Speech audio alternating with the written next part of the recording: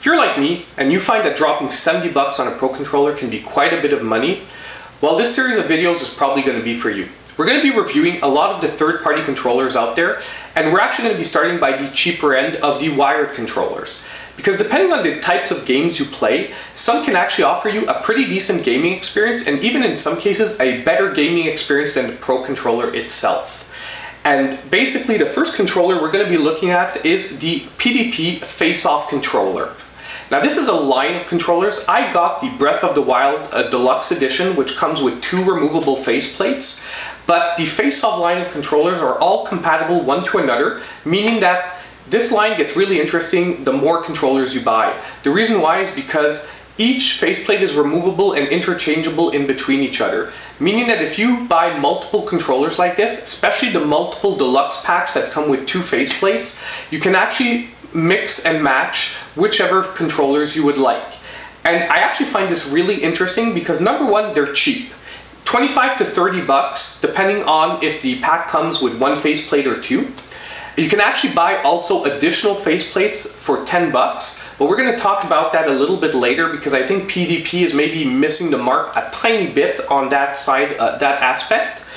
But overall, if you're buying multiples, it's really interesting. And if you have a big family like me, I have four kids, you know that you can't give one kid a Pro controller and the other one a Joy-Con. They're gonna start fighting or they're gonna start arguing. So I think this is a really interesting option, especially if you're looking at buying, like I said, multiple controllers. And actually, for certain types of gameplay, I think this one has actually a jump up on the actual official Pro controller from Nintendo. So keep tuned. We're going to start by looking at what exactly you get when you get buy one of these controllers, and then we'll move on to an, a review. Perfect. So let's look at what you get when you buy one of uh, PDP's face-off controllers. So the box art is pretty standard, nothing special. Nice Nice presentation, says it's an official controller because it is licensed by Nintendo and whatnot. Now let's just get that out of the way because what we want to see is actually what you're getting in the box. And this is what you're getting. So if you get one of the deluxe packs like me, which are the, so far you have the Mario pack, you have the Breath of the Wild pack, uh, you, I think you have one other deluxe pack. If not, basically if you buy one of these standard packs, you're just basically getting exactly what you see here minus the second faceplate. So basically what's really interesting about this pack is that one, the cable is really long. It's a 10 foot cable. So that is something that is really positive about the PDP uh, controller pack. And number two is the faceplates are really interesting. I found this pack is actually the most interesting overall. Why? Because you basically get one controller with more of a matte, a grippier finish, and you get one with more of a glossy finish. Meaning that if you are sensitive to uh, how your controller feels, you actually get to pick between the two. And the removal of the faceplate is actually really, really simple, which we'll look at right away to get it out of the way. Basically, you just pull up on the hinges on each side. The faceplate pops off like so. And you pop on your second faceplate. It clicks in and you're good to go with your second faceplate. So switching the faceplate really takes 10 seconds like you saw. And honestly, overall, I was really impressed that although these are removable faceplates, it doesn't feel like it when you're gripping the controller. But we're gonna leave that to the review. Now that you guys saw what it's offering, let's go, let's go look at what I thought about it. Perfect. So now on to the review. So first of all, as you saw, I swapped the faceplate for you guys. Uh, so you guys get to see both, you know, versions of this uh, deluxe pack that I got. Uh, and by the way, if any of you at the end of the review want to pick up the controller, affiliate links will be down in the video below. Help out the channel a little bit. So first point, let's get on to feel and build quality. And by the way, if any of you want really big details of how I do my reviews, I actually made a specific video about that. You can follow the link above and you can go check out exactly how I review my controllers. You'll get some details in this video, but I don't want to have to go over it every time. It would add like 10 minutes to the video every time. So first category is out of five, and it's build and feel, feel and build quality.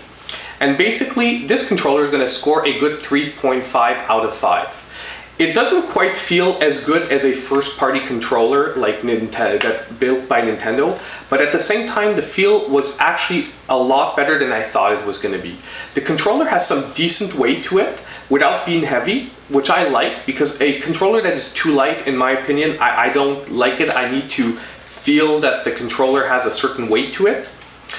And at the same time, I was scared that the removable faceplates was going to leave like the controller feeling flimsy or, you know, like a clicky sound maybe when you put pressure on the controller, but not at all. If you didn't know this faceplate was removable, uh, you wouldn't guess just by looking at the controller. Like you, the first time I had to remove the faceplate, I had to go through the instructions to make sure I wasn't going to break the controller because I actually had to put quite a bit of, you have to put quite a bit of pressure to remove that faceplate.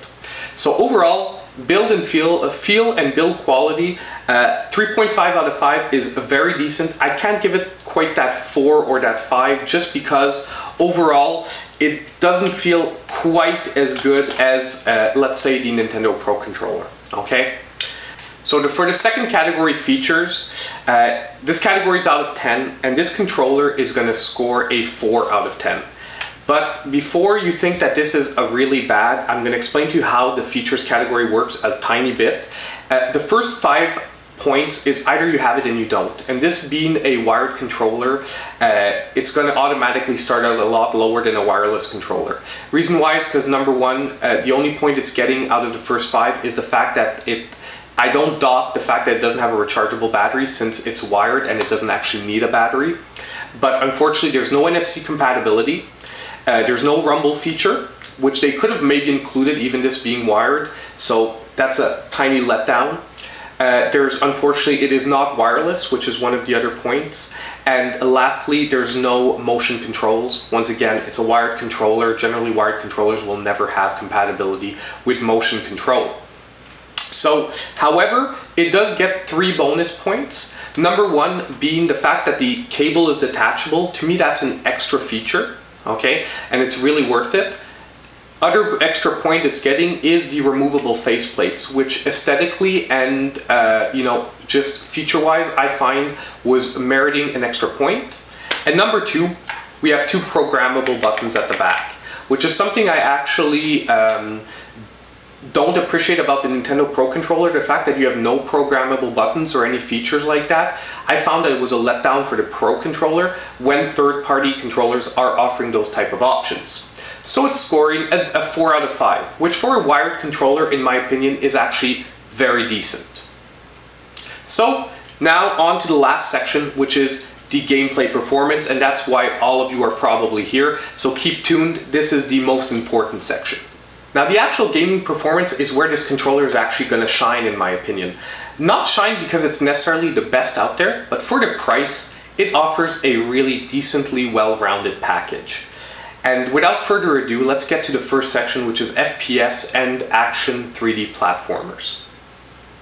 So this first section, basically, I will score this controller a very decent 7.5 out of 10. Uh, Unfortunately, if your game does depend on motion controls, it isn't compatible, which is why I can't score this controller, in my opinion, any higher than this.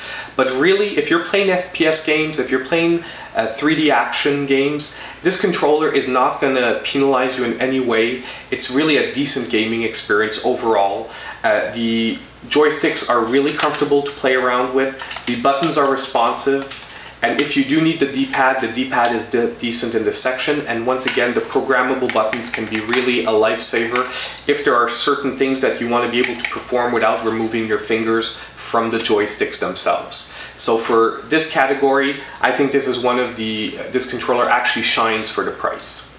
Moving on to the second category, which would be fighting games. And once again, this controller, in my opinion, actually outshines the Pro controller. The D-pad on it although it's not the best in the world, is actually decent. And I would give this a 7 out of 10. So the D-pad could be better. For some motions, if you're really deep into Street Fighter, you might actually have some trouble with half circles. I find the quarter circle moves work really, really well. Half circle moves, sometimes there's a little bit of, the D-pad's a little bit too stiff on that, and it not being uh, rounded at the bottom. You know, there sometimes the motion is a little distracting, but overall, you're going to be getting a decent gaming experience. In my opinion, even better than the Pro controller for fight, fighting games if you're using the D-pad. I would really actually recommend this. And since the tilt sensor is actually not important generally in these games, it's actually not going to impact you negatively at all. So someone who plays a lot of fighting games and doesn't want an expensive controller, good option for you here. Next category, classic 2D and 2D platformers.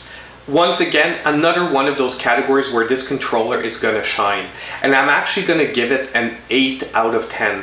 This is probably the best category overall for this controller, giving it some really decent response on the D-pad because those faults that it had for the fighting section where the half circles were sometimes inputted uh, oddly, uh, not going to show up at all in 2D platformers. So if you play things like Mega Man this controller is really going to shine really, really strongly, especially if you're using the D-pad. Like I said, I was actually impressed by the D-pad. I was expecting it to be really, really bad, and it actually overall impressed me. So this is actually a, a very decent controller. And once again, the reason it can hit the 8 is once it, this is another category that the motion controls are generally not very important for, meaning that this controller really offers you sometimes a better gaming experience than the Pro controller once again, and those programmable buttons, lifesavers again.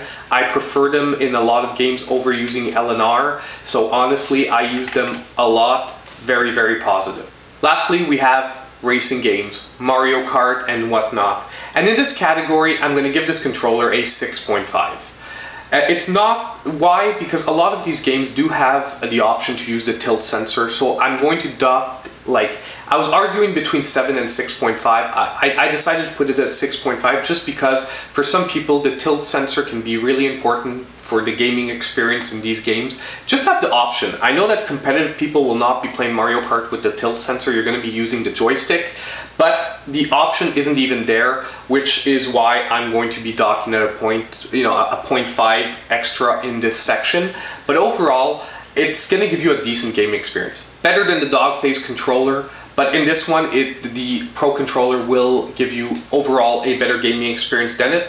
But, you know, the joystick's nonetheless responsive, buttons responsive, so it's a decent controller for this section nonetheless, although it's probably in my opinion, its weakest performance section. It accepts double button input, so you won't have a trouble, uh, you know, using the buttons while holding a shell in Mario Kart and whatnot. So at the same time, you're not handicapped in any way by using this controller overall. So where does that leave us for this controller?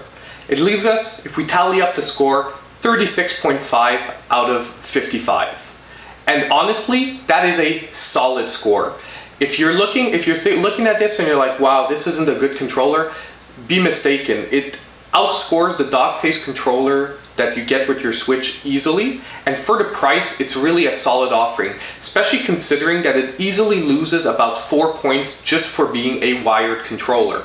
So if you can put up with wired controllers or you get a little USB hub and you get four of these, which is the way I play with my kids because honestly, buying four Pro controllers was just not an option budget-wise for us at the moment. Honestly, this is really, you're going to be really satisfied with this little controller here. And I can easily recommend this controller to anyone looking at a cheap budget option that wants a well-rounded controller and who games in multiple types of games out there. So honestly, for 25 or 30 bucks, you won't be disappointed with PDP's controllers. Uh, I really recommend it. Honestly, it's a decent, cheap option out there for you guys. So, Overall, I hope you guys really liked this review. I'm trying to work hard on them, so if there's anything you didn't like, do leave it in the comments down below. I'll try to make it better for next time. If there's something you thought I, you know, I didn't look at for the controller, let me know as well. And as usual, please smash that like button and do subscribe if you want to see more content. And basically, I hope I'll see you guys in my next video.